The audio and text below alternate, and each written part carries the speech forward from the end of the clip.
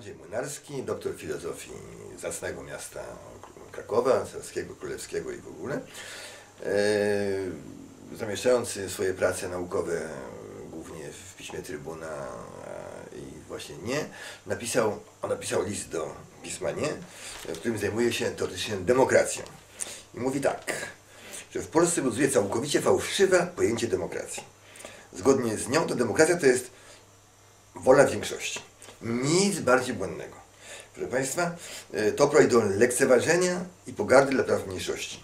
Rzeczywiście, rzeczywiście zgadza się. E, Tymczasem od czasu wielkiego greckiego męża stanu Peryklesa wiadomo, że demokracja to system polityczny, w którym wszystkie sprawy są rozstrzygane w interesie większości. Zwróćcie uwagę, że to nie wola większości, tylko wszystkie sprawy są rozstrzygane w interesie większości. Yy, Bardzo to yy, lubię. Jest to fundamentalna zasadnicza różnica interpretacyjna. No, tylko jest pytanie, yy, kto decyduje o tym, jaki jest ten interes większości, prawda? Ja na przykład mam zupełnie inne pojęcie o interesie większości niż ma pan Młynarski, więc krótko mówiąc musimy zrobić pojedynek, jeden z nas drugiego musi zastrzelić i wtedy ten drugi będzie już dbał o interes większości. Natomiast po co ja o tym mówię? Po to o tym mówię, to jest bardzo popularne stanowisko, ale pan Młynarski powołuje się na Peryklesa.